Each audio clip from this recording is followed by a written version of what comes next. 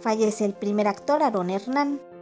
Y es que este domingo 25 de abril aconteció el lamentable fallecimiento del primer actor Aaron Hernán a sus 89 años de edad.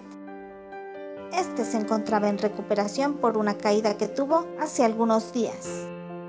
Ahora la Asociación Nacional de Actores informó este 26 de abril la lamentable noticia, pues se confirmó el fallecimiento de este actor.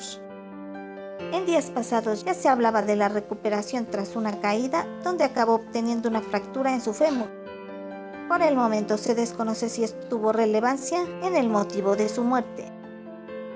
La ANDA tuiteó lo siguiente.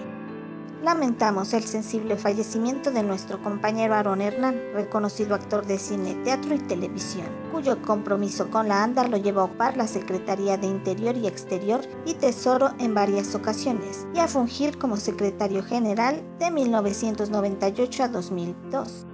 Descanse en paz. Y es que a mediados del 2018 el actor acudió a la casa del actor, la cual se encuentra en la Ciudad de México, todo después de perder la exclusividad con Televisa y quedar sin trabajo. Recordemos que el artista destacó en teatro, televisión e incluso en cine. Además llegó a ocupar diversos cargos administrativos en la asociación. Descanse en paz, Aaron Hernán.